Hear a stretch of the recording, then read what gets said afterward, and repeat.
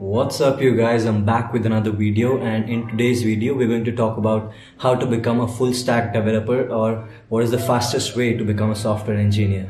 So let's get started. Alright, so let's start with what is a full stack developer, right? So a full stack developer is an engineer who can basically handle any part of the application stack. So think of any popular tech company like Instagram or Airbnb. So if you see Instagram as an application, whether it's your mobile app or your web app, you can go to instagram.com or you can use it on your Android phone or your iOS phone. So you log into your Instagram app, that is called the front end of the app. Basically, it's the client facing side. So it's the front end of the application. That's how it's called in the programming terminologies. So that's the front end of the app and then the front end makes calls to the back end. So whenever you open the app or you refresh your page, what happens is your front end makes an HTTP request to the back end and it fetches the images, right? So when your friend posts a new picture, it's stored in Instagram servers, that is the backend, and your app will make a request to the backend so that Instagram servers will push those images to your front end, and then the front end renders it so that you can see it on your app. This is the whole stack basically front end app then there's the middleware, which is let's not get too much into it because the more you get into it, the more there are things to talk about. So on a very high level, there's a front end application, there's a backend server, and these two communicate with some protocol, uh, mostly HTTP. And then uh, behind this backend server, there's a database, which can be an SQL database or a NoSQL database. So there are different use cases for both SQL and NoSQL databases. Both are very useful and you will have to learn either one of them because uh, as a full stack developer your job is to know front end back end and database so that wherever there's a requirement of an engineer wherever a feature needs to be built whether it's a new api that's to be written it's a new front end feature that needs to be built a full stack developer is always up for the job and that's why they are in so much demand right so the demand for full stack developers has increased like dramatically over the past few years. And today trust me when I say this, there are plenty of jobs and plenty of high paying jobs across the world for full stack developers and for front end and back end developers as well. So basically you need the skill set to build an entire app from end to end. Another big benefit of being a full stack developer is that you know how to build an app end to end, right? So anytime you get an idea, maybe you have an idea for the next Instagram, right? So you can build it on your own from back end to the front end. You know, you can completely build it and launch it and create your own startup. That's one of the biggest benefits of learning full stack and that's why I got into it in the first place because it gives me the power to build any app that I want. Today, I can build an Instagram and WhatsApp, anything, right? You, you're capable of it and you have the skill set required and you know, sky's the limit so to become the full stack developer it's not it's not a direct thing that you can go and do this thing and you become a full stack developer right? It's a step by step process. You need to start at some point and then grow into the whole stack. So it's easy for most people to get started with the front end because it is more intuitive and you you will gain interest. Like back end is slightly more difficult and you don't see your result right? When you're working on a front end project you will code something and you will see the result and that sort of inspires you and, and that sort of keeps you going right? So that's why i suggest most of you start with front end and slowly make your way to the back end and that's how you'll become a full stack developer. So the roadmap to become a full stack developer is simple. You will start at some point. You will start at front end. You will learn html css if you already know them good for you. Start with react. So react is a big ecosystem so definitely there's a lot you can do in react. There's also react native which can be used to develop mobile apps so learn React. Once you're once you're good enough with React, build some projects. If you feel comfortable with front end, then definitely apply for front end jobs, and you will have a great experience so that you will learn even more in your job, and you will be paid to learn. That's the biggest thing, right? So building their product, but you're also learning while building real world products. You will learn the most. Trust me on that. So after after learning React, now you want to move to a backend framework. You can start with let's say Node.js and Express. That's a great place, and a lot of companies are using this kind of stack, which is entirely a JavaScript stack right? So it can be a MEAN or a MERN stack. So that's MongoDB, Express, Angular, and Node.js, or MongoDB, Express, React, and Node.js. So this is a very popular stack which was really popular back in 2018 and 19 in 2020 i'm guessing that react will stay i think angular slowly will phase out because uh, it has a steep learning curve and very few big companies are still on angular and it changes a lot so i think react is the best place to start. So i don't want to start a framework war here. If you have any other opinions leave them in the comment. Let's have a healthy discussion. And all these frameworks right pretty much you can use any framework to build any sort of application so that doesn't matter. What matters is how easily you can pick it up and how comfortable you feel in those kind of frameworks. So start with react and on the back end look at Node.js and Express, or you can start with a Python based backend, which is Django or Flask. So there are plenty of frameworks for both front end and back end. You can basically pick any of them, whichever you like and just make sure that you learn it enough and you gain an expertise in that to a point where you can build a complete application using whatever stack. So if you if you go to the founder of Instagram and ask him why he chose the technologies that he chose, he'll probably tell you that it doesn't matter, right? He picked the one that was easiest for him and he picked the one that would be the fastest to launch the product, right? So it, it doesn't matter. Instagram can be made with a completely different stack and it will still work the same and it will not be an issue at all. So my personal recommendation would be to learn React and Node.js and Express because that's a complete JavaScript stack and it's a it's a very popular stack right now in 2020 and going forward also. So that's my suggestion, but don't feel bound to my suggestions and you can pick any technology. Technology is important, but it's not the main thing, right? The main thing is your skill as a full stack developer that you're able to build a product end to end.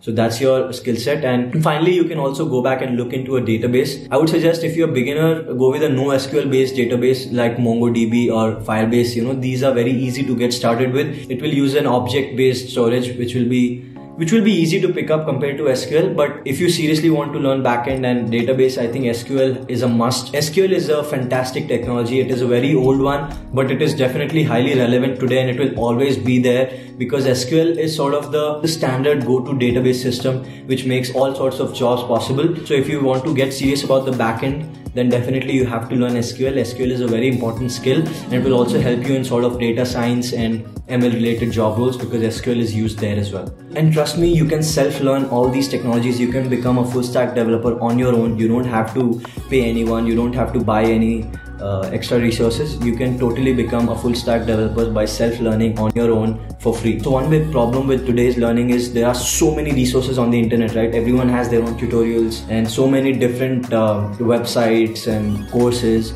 So uh, you might get confused. So i'll make it very simple for you. I have two options for courses. First is Scrimba and second is FreeCodeCamp so if you're a person who doesn't need a sort of a video based lecturing and who can just read their way and solve problems and learn on their own then FreeCodeCamp is the way to go. FreeCodeCamp is absolutely free of cost. It's an open source project and it's a big project. They also give you certifications, right? In the end, you will have a lot of projects and you will get a certification. So that certification can be used to get a job, right? That certification is quite valuable. To be honest, you don't really need any sort of certification as long as you have the skills. But that certification definitely helps because it adds credibility to your application. It shows that you have put in the hours and you have completed the course on FCC. I'll put the link down in the description so you can directly go to the website.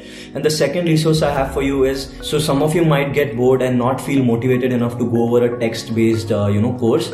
So Scrimba is a great place for you guys. So Scrimba has this new format where the video itself has an embedded editor. So you can pause the video at any moment and edit the code on screen and see the output in real time, right? That's an amazing new technology and I definitely think that Scrimba is worth checking out. It's fairly new right now, so they have a lot of free courses. Just go on their website and look for the HTML and CSS crash course if you're a beginner or look for a React starter kit or something. They have plenty of courses across the stack so definitely check out Scrimba and as always I'll put the link down in the description so you can go ahead and check it out. So these are the two resources that I would recommend. So they are more than enough for you to learn the entire skill set of a full stack developer. So apart from these also there are plenty of sources. Pretty much you can pick anyone on the internet. I mean not anyone, just see the reviews and see their past performances so you will have an idea of what kind of course you're looking into. So a big part of your job as a software engineer will be to be a problem solver, right? So you will definitely run into problems whether you're doing the courses on Scrimba or FCC or any other course, right? So in between your coding assignments or programming tasks, you will definitely run into problems, errors, and that's the way to learn right? You will have to go to google or go to duckduckgo and you will have to search for that error. You will find the results in github. You will find results on stack overflow. Just go to stack overflow. You will find the answer to pretty much every single coding related question every issue that you face. Chances are that someone else has already faced that issue and someone else has already uh, found the solution for you and they have put it on stack overflow. So definitely whenever you run into the issues just copy that issue paste it on google find stack overflow and you know you will definitely be able to solve the problem. So that's a big part of your learning because even while you're working at a job you will run into problems and the first approach to solving a problem is to search for it online because chances are that it's a common problem right? These kind of problems happen to everyone. I think every software engineer or a developer uses Stack Overflow and it's a great tool and should definitely make use of it. So how much time do you need to learn all this? So depending on how much time you put in, right? If you're a student and you have plenty of time, you can easily put in uh, four five hours a day, or you can put in even more. Then uh, it will be faster for you. You can pretty much finish all the courses in maybe two or three months, and you will be ready to uh, completely be a software engineer and work for a paid job, right? A highly paid job. So apart from that, if you already have a full-time job and this is a side thing that you're doing, I would still suggest put in at least one or two hours a day so that uh, over a period of three to six months, you will be able to complete these courses and gain the skill set, right? The skill set is the most important part. Once you have these skills, you are employable anywhere in the world. And another important thing is that as you're learning these courses, right, as you're working on your programming skills, you should always be working with projects, alright? Projects are very important because projects will get you your job basically. When you're learning React or when you're learning uh, Vue.js, you want to build projects to showcase your skills. So when a company is looking at you, they want to see what kind of projects you've worked on, what sort of an application you have built already. So you can have projects and in the end, you should build a portfolio of your own. So just grab a domain or GitHub will give you a free domain. But anyway, this brings me to another important thing. Learn GitHub, right? Create a GitHub account. And as you work on these projects, just keep pushing them to GitHub so that you can show your projects wherever required. You can show the source code and you can demonstrate it on your GitHub pages website. Definitely learn GitHub. It's a very useful skill. All software engineers need to have Git as a skill set because when you're in a company, you will be collaborating with a lot many people for your personal projects you don't really need github but it will help you to learn